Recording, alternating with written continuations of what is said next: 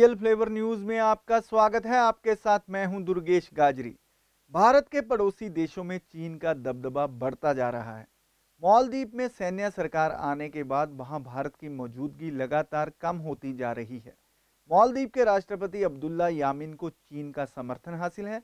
यामिन सरकार ने कहा कि भारत उनके देश से सैन्य हेलीकॉप्टर और अपने कर्मियों को जल्द वापस बुला ले। जून में भारत के साथ करार खत्म हो गया है। और मालदीव इसका नवीनीकरण करना नहीं चाहता।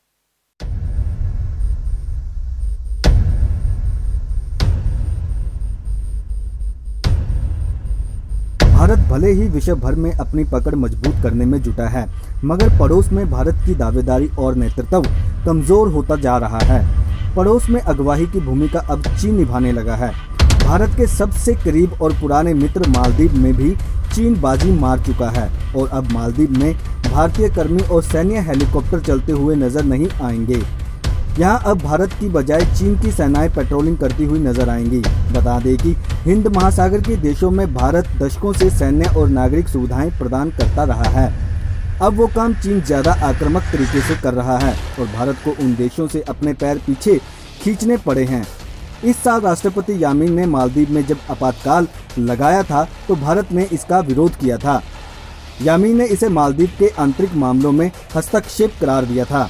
तब से ही यामीन सरकार अपने मुल्क से भारत का पत्ता साफ़ करने में जुटी हुई है। अमेरिका और तुर्की में तनाव बढ़ता जा रहा है। अमेरिका के प्रतिबंधों के बाद तुर्की की मुद्रा लीरा में ऐतिहासिक गिरावट दर्ज की गई। कुल मिलाकर एक हफ़्ते में तुर्की की मुद्रा 16 प्रतिशत लुढ़क गई। अमेरिकी राष्ट्रपति डोनाल्ड ट्रंप ने तुर्की के स्टील और एल्युमिनियम पर अयाज शुल्क बढ़ाकर दुगना कर दिया। ट्रंप के इस फैसले से तुर्की की मुद्रा को बड़ा धक्का लगेगा।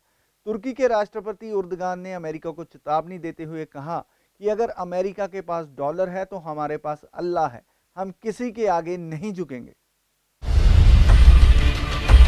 एक एक कर अमेरिका उन सभी मुस्लिम देशों को कमज़ोर करता आ रहा है, जिन्होंने विश्व स्तर पर विशेष भूमिका निभाने की कोशिश की है।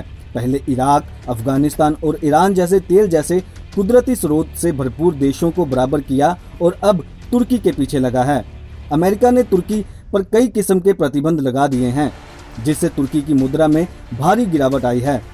ट्रंप ने अपने ट्वीट में कहा कि हमारे मज़बूत डॉलर की तुलना में उनकी मुद्रा कमज़ोर है। अमेरिका और तुर्की के संबंध अभी ठीक नहीं हैं। तुर्की राष्ट्रपति रेचप तैयब ने कहा कि विदेशी ताकतों के कारण उनकी मुद्रा में गिरावट आई है। तुर्की ने अमेरिका पर पलटवार की चेतावनी भी दी। अंद्रवान ने कहा कि अगर उनके पास डॉलर है तो हमारे पास लोग हैं, हमारे पास अपने अधिकार हैं और हमारे पास अल्लाह है। विश्लेषकों का मानना है कि अंद्रवान ने ऐसे बयान से लीरा में सुधार नहीं होगा, बल्कि हालात और खराब होंगे। ट्रंप के ट्वीट के बाद अंद्रवान ने रूस के राष्ट्रपति पुतिन को फ़ोन मिलाया और बात की।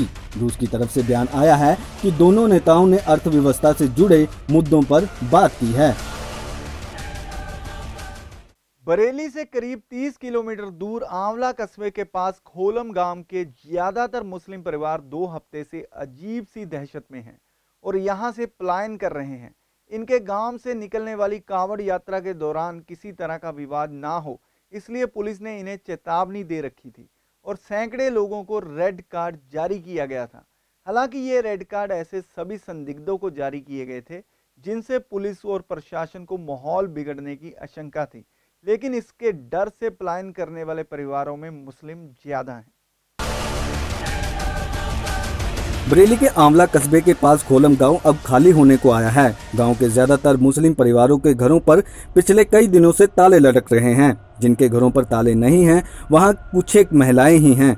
बाकी लोग कहीं दूर अपने रिश्तेदारों के घर जा चुके हैं। दरअसल पिछले साल कावड़ यात्रा के दौरान शिवरात्रि के दिन इस गाँव के दोनों समुदायों के बीच हिंसक झड़प हो गई थी। उसी को देखते हुए इस साल प्रशासन पहले से ही सुचेत हो गया है और लोगों को चेतावनी जारी कर दी गई है। बरेली पुलिस का कहना है कि पिछले साल कावड़ यात्रा के दौरान दोनों पक्षों में हिंसक झड़पें हुई थी।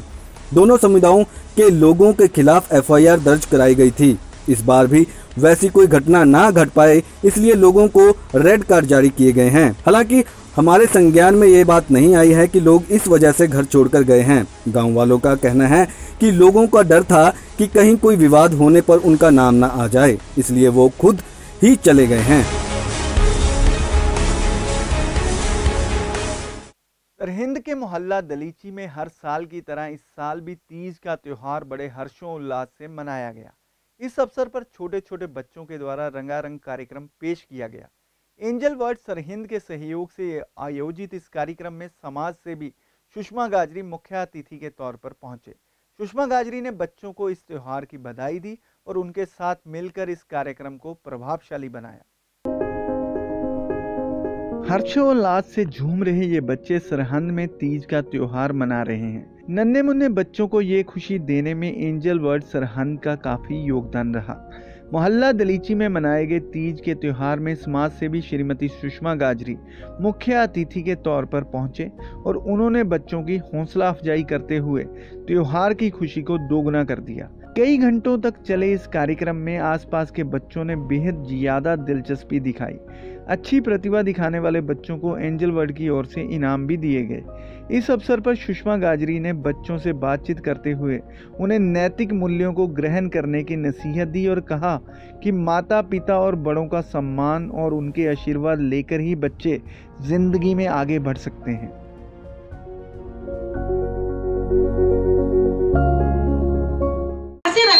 रंगला पंजाब कहते हैं रौनक भरिया पंजाब कहते हैं ਤੇ ਅੱਜ ਉਸ ਰੰਗਲੇ ਪੰਜਾਬ ਦੇ ਦਰਸ਼ਨ ਇਹਨਾਂ ਛੋਟੀਆਂ ਛੋਟੀਆਂ ਬੱਚੀਆਂ ਨੇ ਕਰਵਾ ਦਿੱਤੇ ਇਹਨਾਂ ਬੱਚਿਆਂ ਲਈ ਜ਼ੋਰਦਾਰ ਤਾੜੀਆਂ ਹੋ फतेहगढ़ साहब से दीपक सूद की रिपोर्ट फिलहाल के लिए इतना ही देश और दुनिया की तमाम खबरों के लिए देखते रहें रियल फ्लेवर न्यूज़